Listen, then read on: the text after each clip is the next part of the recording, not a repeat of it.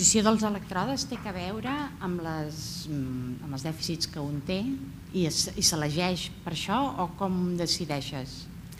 El, sí, s'elegeixen en funció dels dèficits que té la persona i, i en funció també de que prèviament eh, independentment de que després es puguin treballar altres aspectes més emocionalment més profuns o bé aspectes cognitius, primer s'ha de fer un treball de o bé mm, relaxació de l'activitat del cervell o, bé, o, o estabilització. Llavors, això, eh, les dues posicions bàsiques que us deia abans, que era temporal, mm. parietal, dret i interhemisfèric, són dues posicions bàsiques que eh, us fa una o una altra o les dues, en funció de les característiques de la persona, que això sí que ho avaluem, però després eh, en funció també de, del que aquesta persona doncs, necessita. No?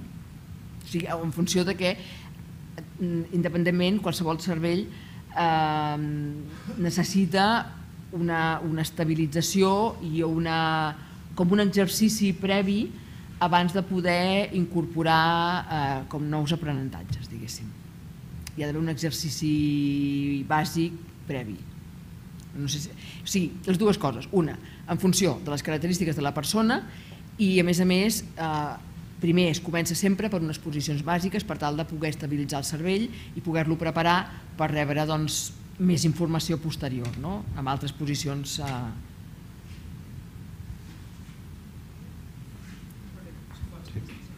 Has comentat el tema de que eh, per, queden fixats aquests tipus de modificacions en el servei, queden fixats en la, en la persona o s'han d'anar reactivant regularment? Si queden fixats, queden fixats sobretot si el cervell és, una, és un cervell normal, o sigui, el que comentava, si hi ha unes, uns mals aprenentatges previs eh, que han generat patrons de comportament, sigui de conducta, bé sigui de, de, de resposta emocional alterats, eh, disfuncionals, i el que es tracta és senzillament de que aprengui noves, noves conductes. Llavors, el que es fa és com, mm, eh, com sacsejar el cervell, el, trenques es, es trenquen els patrons de resposta mm, disfuncional apresos i es, fa, es porta en un estat d'arousal i funcional més adequat, en el qual la persona és essencial que es trobi bé o sigui, és un de, de, dels requisits de l'entrenament, eh? que, que la persona que està allà, per això deia, és amable i còmode per, de fer perquè sempre se li demana has de, és essencial que arribar al punt de que tu et trobis bé fent el que estàs fent o estàs veient unes imatges. Uh, llavors, amb aquest estat, torno a la teva pregunta, amb aquest estat de benestar però d'activació mental, és a dir, benestar, però no d'endormiscament, de, sinó de mentalment alerta i despejat, però sense nerviosisme ni, ni crispació, amb aquest estat es generen nous, noves connexions neuronals, nous aprenentatges. Si això ho combines amb aprenentatges de, habituals, doncs eh, una, un aspecte s'incorpora a l'altre, és a dir, facilites l'aprenentatge de nous patrons de resposta alhora que està generant nous patrons mm, neuronals. Si això ho fas amb una persona normal, com que els nous patrons de conducta s'aniran repetint, en principi, doncs s'autoconsoliden. Perquè nosaltres anem mm, consolidant vies neuronals a mesura que anem practicant les conductes. Contra més, més practiquem, millor ho fem, perquè les nostres vies van aprenent, són més àgils, són més subtils, etc. I, i més es consoliden vies neuronals molt, molt potents que després altres costes respondre d'una altra manera. Mm, això un, amb un cervell normal. Si hi ha una disfunció i aquesta disfunció és important, doncs clar, el canvi potser pot costar una mica més i després potser serà necessari anar fent algun recordatori perquè la disfunció es tira cap al seu cantó, diguéssim, no? Depèn del tipus de disfunció. Eh, per exemple, si hi ha una hiperactivitat de base molt potent, doncs, bueno, millor eh, és convenient fer una, uns recordatoris. Si hi ha una, una ansietat de base molt forta, doncs, possiblement és, és convenient això. Mm, en el cas del consum de drogues, bueno, moltes vegades el consum de drogues, com que és algo que està afegit a la conducta de la pròpia persona, perquè no, no és una disfunció bàsica, sinó que és senzillament un patró de conducta que un ha après, pot, haver, pot ser que també hi hagi una necessitat d'automedicació, eh? Uh, però si només és un, un patró de conducta après, doncs es pot trencar aquest hàbit de conducta i en molts casos no, no hi ha recaiguda perquè es trenca el, la necessitat i mm, es tracta l'hàbit de conducta mental i neuronal i genera nous patrons. Vull dir que, mm, resumint, si, si el cervell és normal, podem generar un nou aprenentatge i probablement no necessitarà ni record, perquè aquell patró es consolida. Si hi ha una disfunció de base, doncs és possible que pugui ser necessari doncs, alguns records recordatoris, no? Però, però sempre hi ha un mínim que es manté. Una pregunta molt bàsica, eh, no sé si m'he enterat o no. Eh, estem parlant de l'estimulació cerebral profunda? He, he, he sentit a parlar, no és això. Si, si em pot explicar la diferència ho agrairia. Uh, bueno, jo puc explicar el neurofeedback. L'estimulació cerebral profunda no te la puc explicar. No és això. No és això, no, és el que deia al principi. Aquesta tècnica és, que és important, he dit, és no invasiva, que vol dir que no afegim res, res, al cervell. Eh? L'estimulació cerebral pot ser uh, petiteta o pot ser profunda, que eh, l'estimulació cerebral profunda vol dir que eh, estàs injectant una estimulació eh, a una intensitat més la, bueno, doncs considerable, relativament considerable. El que sí que puc dir que l'estimulació cerebral profunda s'utilitza en casos molt, molt específics, s'utilitza a nivell hospitalari i sé que ho han utilitzat, hi ha, hi ha estudis publicats a Sant Pau, per exemple, però en casos de depressió refractària i que llavors bueno, és, una, eh, és un mal menor. Mal menor. Però també per situar el context, a, Barcelona i a molts llocs s'està fent estimulació cerebral no profunda, però estimulació cerebral de baixa intensitat, que es diu així, per tractar nens amb TDA. Hi han. Per tant, imagineu-vos, jo no ho faria, però, bueno, de fet, administrar un fàrmac també administres una, una substància, jo no ho faria, no ho faria ni aquí, no és el cas, eh? O sigui, aquí és estrictament recollir eh, l'activitat eh, cerebral i retornar-la en forma d'imatges. O sigui, el nostre cervell com funciona? Captem l'exterior i el veiem l'exterior amb imatges, no? Veiem imatges. Però el nostre cervell eh, aquestes imatges les transforma en activitat elèctrica Llavors, nosaltres què fem amb el neurofeedback? Recollim l'activitat elèctrica, la processem amb un ordinador i la retornem en forma d'imatges. Llavors, la nostra activitat pot ser molt normal o pot tenir distorsions i llavors el que fem amb el neurofeedback és fer compensar aquelles distorsions, bueno, fer que el cervell se n'enteri d'aquells aspectes que són disfuncionals, no, puc, no puc entrar en més detalls, però perquè Um, però fem que el cervell s'entengui d'aquests uh, aspectes més disfuncionals i es van autocorregint. Però és absolutament no invasiva, eh? això sí que... A nivell de, de l'aplicabilitat en, aquest, en aquest pilot que faríem, eh, quines serien les, eh, les manifestacions externes que hauríem de, de veure que s'hauria de poder veure doncs, en, en tot aquest procés, en el funcionament diari de... Doncs quines serien? De, depèn de la persona, o sigui, depèn dels canvis que necessiti. Uh, serien serien, normalment són canvis que són relativament subtils, Clar, en, en, el cas de, en aquest cas probablement han de ser més aparents, perquè la, la, que la disfunció de la conducta és més, és més, és més incisiva, no? Eh, és, és més aparent. Canvis, eh, torno a dir, eh, dependrà de la persona, però en general, pensant que hi ha impulsivitat, doncs que sigui més capaç de regular aquesta impulsivitat. Que si hi ha respostes agressives fàcilment, que sigui més, més fàcil, les pugui controlar més fàcilment, que no sé si es donen en presons, Um, perquè clar que és un ambient controlat, que si mm, té dificultats per estar sentat, és una persona molt inquieta, doncs que pugui estar més estona eh, concentrat, llegint eh, amb més facilitat i disfrutar més del que està fent. I sobretot, eh, bueno, sobretot mm, un dels aspectes que valorem és, són qüestionaris d'estat en el qual sí que li preguntarem una mica pel seu estat, no? pues com et trobes?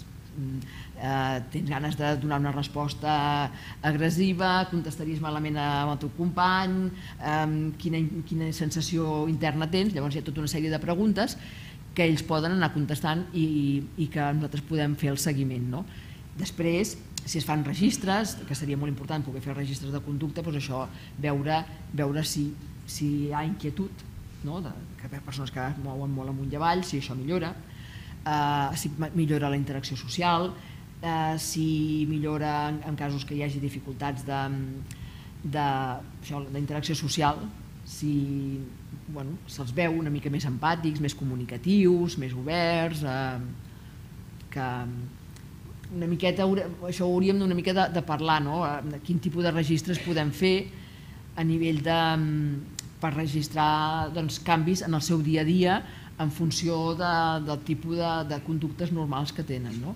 Però un, una de les que seria molt important seria la conducta empàtica. Doncs si això, si són capaços d'estar de, com més amables, hi ha com una molta més suavitat en les respostes.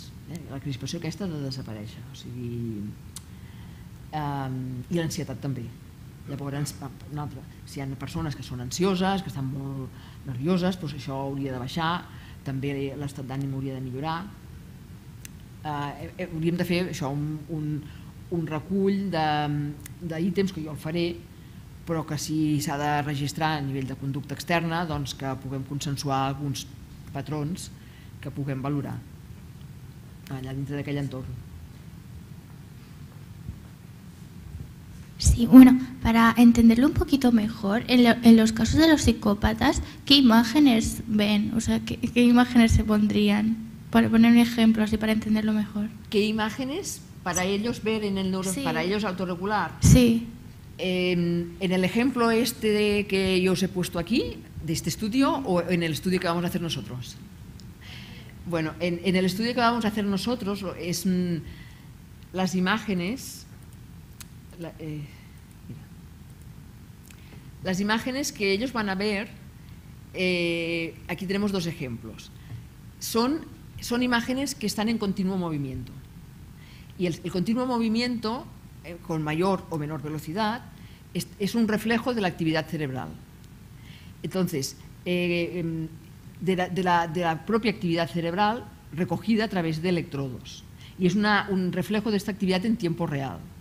Y cuando tú estás concentrado en tu propia actividad electroencefalográfica en tiempo real, el, cerebro esto lo capta porque es su propia actividad, se concentra muy bien, además esto se facilita porque se baja el arousal y, pones a la persona en un estado mucho más receptivo.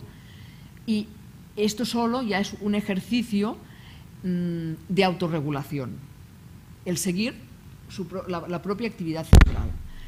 En este caso de neurofeedback es tan poco incisivo y tan poco invasivo que no hay no, se le pide al, al, sujeto que ni siquiera, ni siquiera que haga un ejercicio voluntario de subir o bajar actividad, sino simplemente que siga su propia actividad cerebral. Y esto solo la autorregula porque eh, en todas nuestras funciones corporales funcionan con feedback. ¿no? Todo, mm, nuestro, nuestro organismo eh, tiene, sobre todo nuestro cerebro, tiene mecanismos de feedback que permiten, pues cuando sube demasiado la presión, bajarla, cuando baja demasiado, subirla, para que siempre estemos en un estado de equilibrio. Sube demasiado la temperatura, bueno, hay mecanismos de sudoración que se ponen en marcha y regulan la temperatura. Entonces, para las ondas cerebrales el problema es que no hay feedback. Entonces, uh, no hay este meca meca mecanismo, porque como podemos aprender tantas cosas, no, no, no, hay un mecanismo de regulación, no hay límite. Entonces, dando este feedback de, man de manera externa, la, la, propia actividad cerebral se autorregula. Esto es, una, es un aspecto. El segundo aspecto es que se recogen eh, las, las, ondas del electroencefalograma, las beta, las alfa, las, mm, las teta y las delta, y, y, estas ondas, mm, para el tipo de tarea que se está realizando, tienen que tener una determinada amplitud. Si se pasan en amplitud, significa que el cerebro funciona con disregulación, que, no, que hay momentos de disregulación, de, anomalía. Entonces, eh, este, eh, estos momentos de alta disregulación, bueno, hay un, un proceso ¿no? que eso ya lo trabaja automáticamente el programa, lo capta el programa y cuando hay esa disregulación muy elevada, ¿no? Que sale por encima del, del, del 95% de lo que sería la actividad normal, eh, esto se traduce en tiempo real también, de una manera muy rápida, aquí está el secreto de la técnica, eh, en una distorsión de la imagen, que puede ser o bien que se ennegrece el cielo, ¿no? aquí está muy negro, o bien eh, que parecen como destellos, y esto, el cerebro, a medida que esto se va repitiendo muchas veces y en distintas sesiones, pues lo va entendiendo como que esa disregulación corresponde a un momento de disregulación cerebral y ayuda a autorregular. Arousal más este proceso de, de autorregulación va mm, trayendo a la, actividad cerebral a una nueva situación mmm, en la cual se facilita el aprendizaje. Es decir, estás rompiendo los patrones normales de funcionamiento y llevando a un, a un punto donde hay que aprender nuevos patrones, por tanto estamos generando plasticidad y si esto lo combinas con aprendizaje, pues estos aprendizajes se consolidan sobre una nueva actividad neuronal, mucho más normal.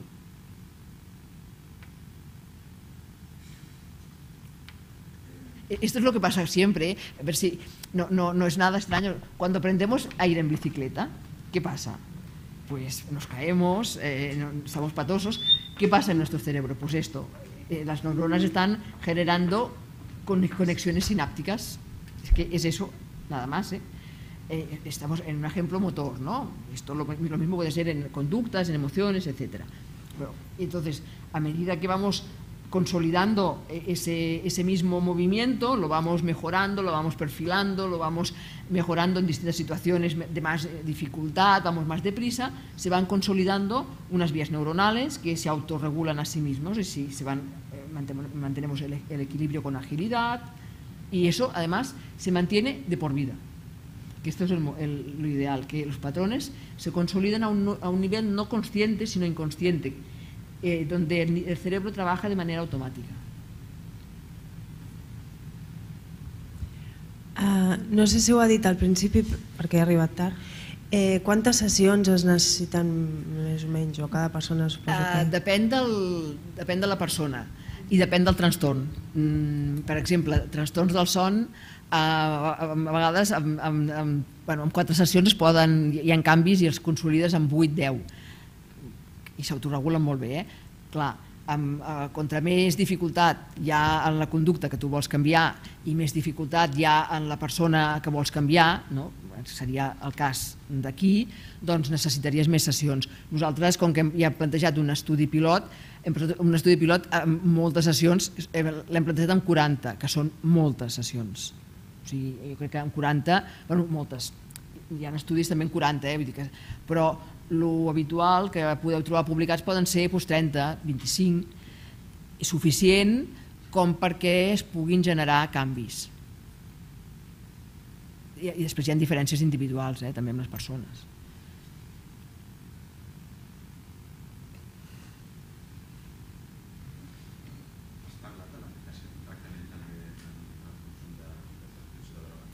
No, no perquè no n'he no parlat de manera específica perquè eh, clar, el, el consum de drogues el que s'ha de fer és com disseccionar eh, les dificultats d'aquella persona. No? El consum, has d'avaluar, dir, mira, aquesta persona té eh, ansietat o està depressiva perquè, no, que és el cas doncs, quan hi ha síndrome d'abstinència o, mm, o té dificultats d'autoregulació de la seva pròpia conducta, que segur que en tenen tots aquests, no? aquestes persones. Mm, llavors has de disseccionar les seves dificultats i has d'anar treballant i a mesura que vas eh, regulant el seu cervell amb un nivell de funcionament més normal deixa de, de tenir aquella necessitat de la substància. Uh, si hi ha un craving important o hi ha una consolidació del patró de, de, de consum, llavors pot ser necessari també una intervenció una mica més profunda per trencar del tot l'hàbit. Però el que seria a nivell més eh, que això es pot valorar si en algun cas ho, ho, ho, ho és necessari fer-ho, no? Però ja, ja seria ja no seria la intervenció tan bàsica que és, mm, que és la que us parlava, més ansietat, depressió, eh, autorregulació emocional o autorregulació cognitiva, sinó que ja potser seria una... però es, es pot mirar de fer. Um, però ja seria per trencar l'hàbit a nivell ja com més profund, la, la, la, necessitat allò més íntima de, de, de l'aprenentatge d'aquell hàbit, no? Però que és l'ansietat, la depressió, la, la, les dificultats d'autoregulació de conducta, això us pot compensar i d'una manera molt mm, com natural deixa de- de- de- d'interessar-li la substància. El mateix, hi ha persones que responen molt bé i altres no tant. Això és com amb els fàrmacs passa igual també, no? Has de veure cada persona la seva dificultat.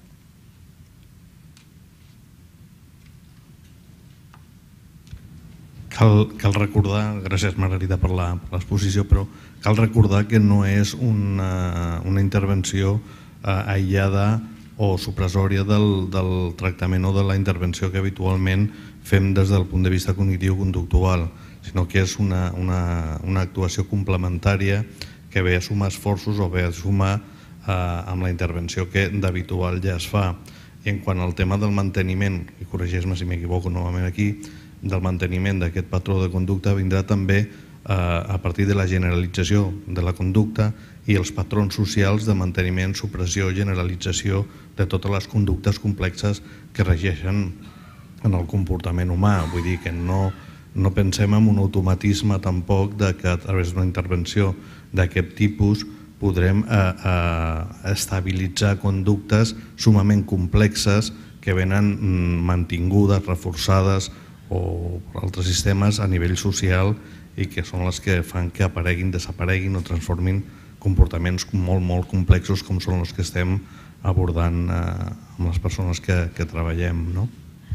Sí, això és veritat. O sigui, clar, si, sempre que hi hagi uh, un, un patró o una circumstància social que vingui a, a, a contrarrestar, no? a, a, a intervenir de manera en direcció contrària, és clar, hi ha una pressió una altra vegada en la mateixa direcció de, de, de, de recaure o, o de comportaments distorsionats. Ara, el, en el cas de neurofeedback no, fem una intervenció concreta, és una intervenció molt general i que a més, com que tenim 40 sessions, podem fer una intervenció molt completa eh, en molts aspectes i, i fa una, una intervenció que abasta mm, moltes funcions cerebrals i molt, molt, molt, moltes conductes diferents. El que passa que, clar, si després a l'hora de sortir eh, doncs es troben amb dificultats, les dificultats hi seran. Però el que sí que facilitarà és que si amb, amb, els, amb les vostres intervencions intenteu doncs, ensenyar-los diferents patrons de conducta, doncs, eh, sí que facilitarà el que puguin aprendre diferents patrons i, i sigui més fàcil la generalització que mencionaves.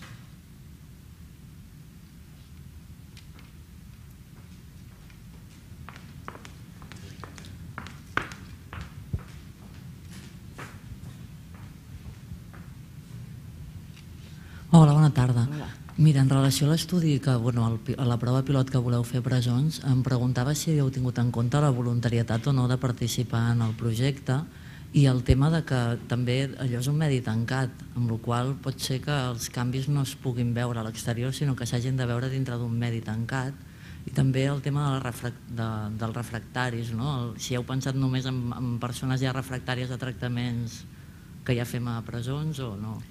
Bueno, en- estem encara en fase de, de disseny i bueno, s'ha pensat, això corregiu-me vosaltres, eh, perquè s'ha pensat en principi en persones que, no sé si refractàries del tot, però que tinguin, tenen ja bastantes dificultats de canviar i que, per tant, doncs el que volem és facilitar, intentar doncs, eh, facilitar el, el canvi eh, a nivell neuronal, no? o, en, que puguin aprendre amb més facilitat conductes que els hi és difícil aprendre d'una altra manera amb, amb les intervencions habituals.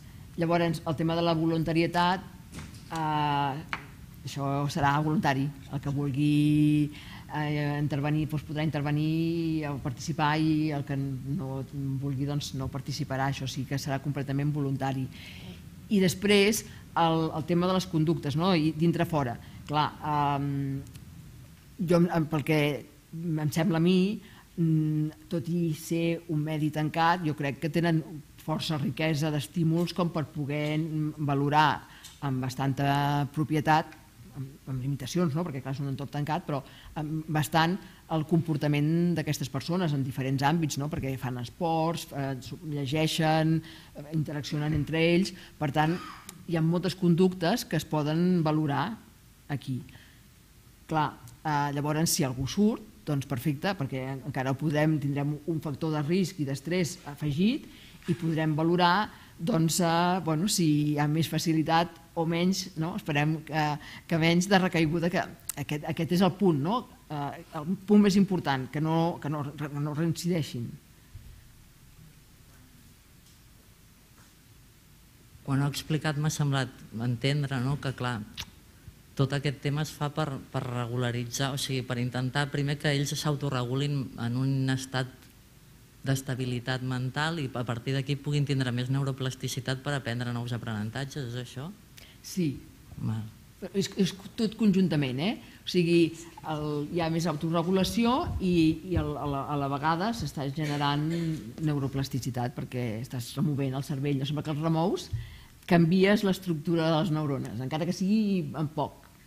Aprens una paraula nova d'anglès, tu ja has canviat alguna al teu cervell. O sigui, sempre que hi ha un petit aprenentatge, generes plasticitat.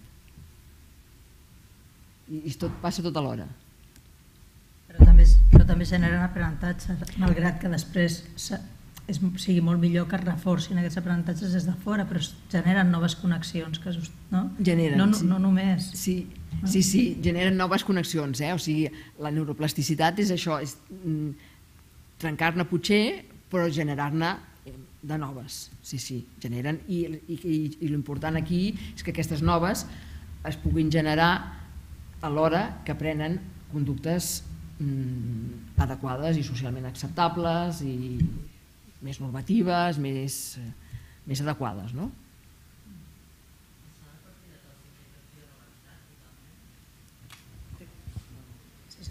Es necessita que el subjecte estigui totalment relaxat, el pacient? Um, bueno, és que és, és una, una condició sine qua non portar-lo en el seu estat de benestar. O sigui, és com si qualsevol persona, qualsevol de nosaltres, funciona en el seu estat de benestar. En principi, no? tots estem més o menys bé, perquè si no, no hi ha, no hi ha distorsions de l'ambient massa intenses, doncs tots aprenem des de petits fins ara doncs, a estar en el nostre estat de benestar, que pot tenir una, fluctuacions, no? podem estar més relaxats, una miqueta menys, eh, si tenim moltes dificultats ens sentim molt estressats i potser tenim un període molt dolent, fins i tot potser ens hem de prendre un medicament i podem tornar. Um, però nosaltres, la, de la, la nostra manera més eficaç de funcionar sempre és el nostre estat de benestar. Llavors, la condició sine qua non del, del neurofeedback és tot el que estem generant de nou, generar-ho en l'estat de benestar d'aquella persona. Potser això és el més difícil, quan em referia jo al tema de que allà estan tancats, això és el que em, em sembla més no, no, difícil. No, és que o sigui, tu et poses a la, a la persona. Després... No, clar, és, és, és, és totalment desconeixement de la tècnica, suposo. Mm, bueno, eh, clar, contra, me, contra més distorsió tingui l'estat d'una persona, doncs pot costar una mica més, però eh, o sigui, el, el fet de... Quan estàs fent, quan estàs fent neurofeedback hi ha com una artificialment o, o forçadament, forçadament entre cometes, eh, però sempre natural, el portes a la persona a través de sincronitzar-se amb la seva activitat cerebral en un estat de més benestar. Allò, eh, i per tant des de la primera sessió mm, ja el portes, ja el fas relaxar, és com si fessis ioga o, o, Sí, sí, sí, jo ho entenc, però jo he intentat fer ioga dintre d'una presó i entre que hi ha l'interfono, tin, tun, tin, criden a tal intern. És a dir, hi ha moltes interferències, per això ho deia, bueno, no... Um, però això es fa uh, sincronitzant a la... La pràctica. Sí, no, no, són, És la no, pràctica. No. Està bé les preguntes. Es fa uh, amb una... Amb, amb un entorn ja tancat, suposo que no hi ha tantes interferències en aquella, en aquella sala, amb, veient les imatges d'una manera molt propera i eh, els estímuls són visuals però també auditius. les dues, les dues. I els auditius es transmeten a través d'auriculars, per tant són bon- bons auriculars, amb una bona sonoritat i l'aïlles de l'exterior, per tant a la mitja hora que el tens allà el tens, el tens centrat. Perfecte, perfecte. I còmodo, és una altra de les condicions mínimament còmodo i el portes a, a, en un estat de benestar, o sigui, però be- benestar alerta, eh? no, no és que hagi d'estar a cap estat especial, no, no. I allò, aquest estat a mesura que es consolida, doncs, fins i tot ja no és res especial, eh? no, no, és tranquil·litat i alerta. Els has de posar auriculars per fer ioga, ja ho sents. Bé, doncs ens hem passat ja 10 minuts de l'hora prevista per tancar la sessió. Moltes gràcies a tots per ser-hi i per haver participat tant i fins la propera.